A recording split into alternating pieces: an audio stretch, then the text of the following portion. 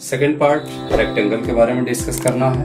आप देख सकते हैं रेक्टेंगल सबसे पहले तो रेक्टेंगल होता क्या है? रेक्टेंगल यानी आयत, जिसके आमने सामने की भुजा इक्वल होती है। अब क्वेश्चंस कैसे आएँगे? सपोज़ करिए ये क्वेश्चन आया आपका, और इसमें पूछा जाए कुल कितने रेक्टेंगल बनेंगे। सिंपली रेक्टेंगल में होता क्या है?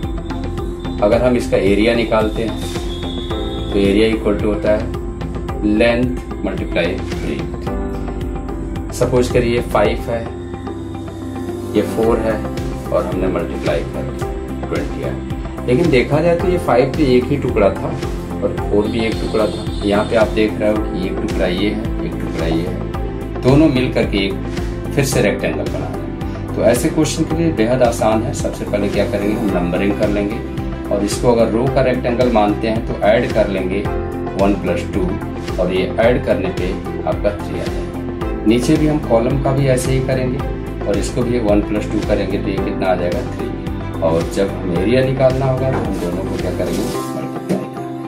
यानी आंसर हमारा नाइन एक और क्वेश्चन देखते हैं, थोड़ा सा tough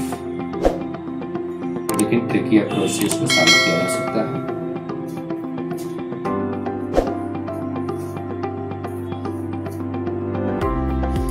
One two three and four ये फोर के बारे में आपको पहले बता दिया था कि इसको आप क्या करेंगे?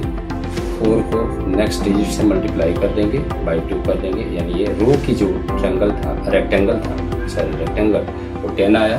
और अगर इसकी बात करते हैं, इनको अगर हम ऐड किए three multiply four by two यानी सिक्स सिक्स और टेन दोनों का आपस में मल्टीप्लाई कर देंगे, और ये आपका आएगा सिक्सटी तो ये रेक्टेंगल था। रेक्टेंगल का कोई भी क्वेश्चन अगर आप ऐसा आएगा तो कर लेंगे। नेक्स्ट वीडियो हमारा स्क्वायर का होगा।